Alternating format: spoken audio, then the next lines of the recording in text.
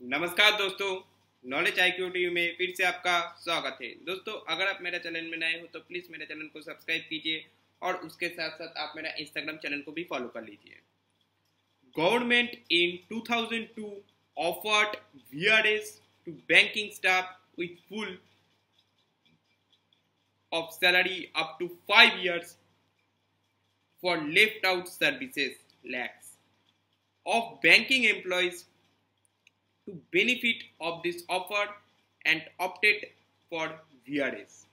Next bipartite settlement was due in November 2002 as updation or revision was not permitted.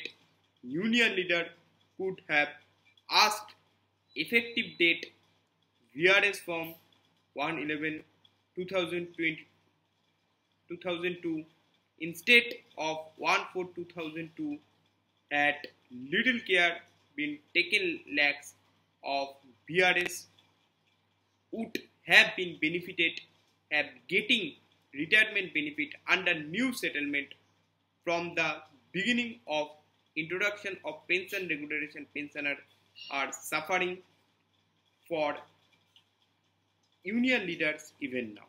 Accepting VRS seem to be great mistake. Thank you.